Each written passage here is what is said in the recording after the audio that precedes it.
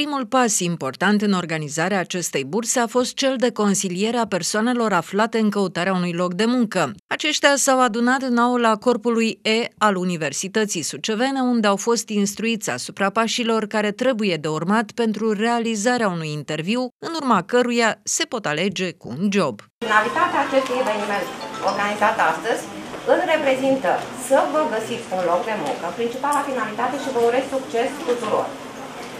Celor care nu-și găsesc un loc de muncă, le doresc să plece totuși cu un câștig de pe urma acestui eveniment. Câștigul constă în primul rând într-o experiență pe care o acumulați și aici în sală, pentru că veți fi consiliați cu privire la modul în care trebuie să vă întocmiți un CV, astfel încât acest CV să pună în evidență toate aturile pe care le aveți. Veți porni cu o consiliere din această sală în ceea ce privește modul în care trebuie să vă prezentați în fața unui angajator la un interviu. Cu ce trebuie să începeți, cu ce nu trebuie să începeți, care este atitudinea potrivită, care este de regulă așteptarea unui angajator de la persoana care se află în fața lui. Prima impresie este cea care contează foarte mult în ceea ce privește selectarea dumneavoastră, eventual în vederea unui alt interviu sau chiar angajarea pe loc. Vă recomand să aveți răbdare cu dumneavoastră și doi, uh, să investiți în dumneavoastră, atât din punct de vedere al uh, competențelor, a pregătirii dumneavoastră profesionale și să nu vă opriți uh, pe acest nivel de pregătire în care vă aflați acum. Încercați să dezvoltați și să aveți acea capacitate în care să vă ofere o încredere de sine pentru că fiecare dintre dumneavoastră sunteți niște învingători. Văd aici chiar un fost elev de-al meu, care acum e absolvent de studii superioare. Eu vreau să vă spun că, de fapt, cred că cel mai important lucru pe care astăzi îl veți învăța e o chestiune de ego-marketing, pentru că vă descoperiți pe voi, uh, vă, vă vor învăța, domnule consilier, ce experiență trebuie să prezentați angajatorilor și ce aspecte trebuie să punctați pentru a-i convinge. Cu siguranță, după întâlnirea de azi, veți fi mai motivați și uh, gradul de ocupare, numărul de, de persoane care își vor găsi un loc de muncă astăzi va fi mai mare, uh, tocmai datorită acestei întâlniri anterioare, uh, întâlnirii dumneavoastră cu angajatorii. Vă urez mult succes! Șefa Agenției Județene pentru Ocuparea Forței de Muncă Suceava, Mirela Domnicăi, a oferit informații calde despre eveniment. Surpriza din acest an o reprezintă interesul crescut din partea angajatorilor. După cum vedeți, încercăm să mai găsim mese pentru angajatorii care au venit fără să confirme participarea la bursă. La nivelul județului, confirmații au fost uh, în jur de 110 angajatori cu oferte de aproximativ 500 de locuri de muncă vacante. Cu siguranță, după ce tragem linia la sfârșitul uh, evenimentului, vom avea un număr mai mare de angajatori și de locuri de muncă vacante cu care au venit pentru absolvenții care Uh, doresc să debuteze pe piața muncii, cu o lipsă de experiență în ceea ce privește munca, dar cu o dorință de a munci, sperăm noi, dorință pe care încercăm să o calificăm printr-o ședință de consiliere organizată în preambulul acestui eveniment, cu o firmă specializată în uh, tehnici de căutare a unui loc de muncă. Chiar în acest moment, uh, absolvenții care s-au prezentat la bursă beneficiază de servicii de consiliere cu privire la modul în care trebuie să-și întocmească un CV pentru a se pune în evidență, consiliere cu privire la modul în care se vor prezenta imediat după ședință la bursă pentru a aplica pe viu Uh, experiența dobândită. Am remarcat, la bursă au venit și alte persoane care uh, doresc să-și caute un loc de muncă nefiind absolvenți, le urez și acestora succes, pentru că din ce am văzut există oferte de locuri de muncă și pentru persoane care trebuie să aibă și o anumită experiență sau uh, o anumită vechime într-un domeniu. Sunt solicitate persoane care să aibă o calificare în domeniul serviciilor, dar am văzut o, în continuare pentru domeniul confecțiilor există o mare cerere în ceea ce privește angajarea, indiferent de existența unei calificări sau nu în acest sens. Este destul de diversificată oferta de locuri de muncă vacante prezentată astăzi la bursă, pentru că am văzut că se caută economiști, se caută și ingineri geodezi, se caută mecanici auto în continuare cu un tot mai mare interes și tot mai mare de număr de solicitări de angajări în acest sens, astfel încât uh, o altă concluzie benefică pentru noi după acest eveniment va fi modul în care vom orienta cursurile de formare profesională pe care le organizăm gratuit alcătuit la sediu,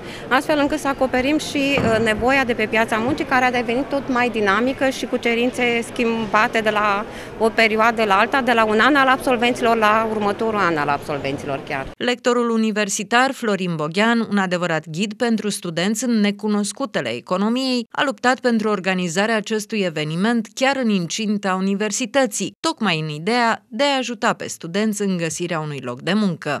Ne bucură organizarea acestui eveniment. Consider că o locație mai bună decât uh, Universitatea Ștefan cel Mare nu se putea pentru bursa absolvenților. Noi, ca universitate, ne interesează traseul socioprofesional al uh, absolvenților noștri, dincolo de plecarea lor fizică din instituția noastră, pentru a păstra o legătură cu ei și dincolo de încetarea procesului didactic.